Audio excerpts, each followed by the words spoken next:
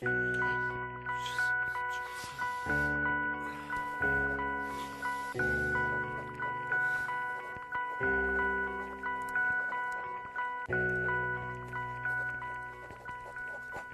uh. I dalje osjetim smrad kad hoću u klub uć proklete žene se hoće za lovu svuć.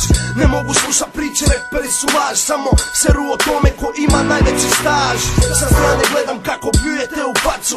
Meni mislio sam da ti sve za braću. Dok nisam vidio kakav je ovdje narod Stanem pored neki ljudi ko da sam ušao u zahodi Popićeva mozak MTV i Viva. Pričam ljudima šta se tu stvarno zbiva. Ko je bolan si se od kojeg barepa I ovdje su sestre počele sanjati Johnny Deppa. I meni krivo je što sivo je. Pojeo bi sam sebe kada vidim kako bilo je I kako je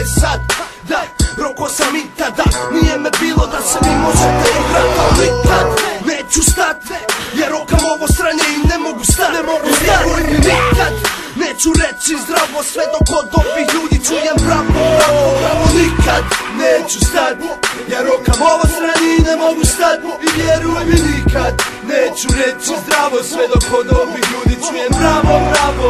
Nikad, znači nikad.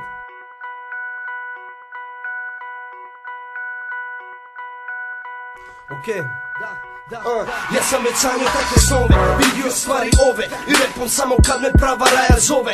Pusi Čaldin ima drugi plan. Sad ću ti reći zašto pustio bi suzu Kad bi znao kako sam ja rasto Moje bogatstvo je tamo gdje idem. Ne čudi se što dođem pjana svoje gide. Ne želim da me vide. Ne želim da sam vječan. Jer ovdje ne postoji ono što se zove sreća. Postoji nož u leđa. Da, i ne poštuju svinje pa se na tebe poseru kod svinje. I nije meni, tako je skoro svima Al nije sve u njima, pokvarena je sredina.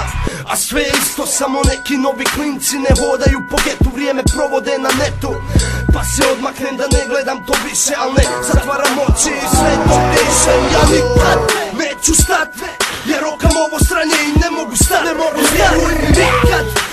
Zdravo sve dok od ovih ljudi čujem bravo, bravo Nikad neću stat Ja rokam ovo strani i ne mogu stat. I vjeruj mi nikad Neću reći zdravo sve dok od ovih ljudi čujem bravo, bravo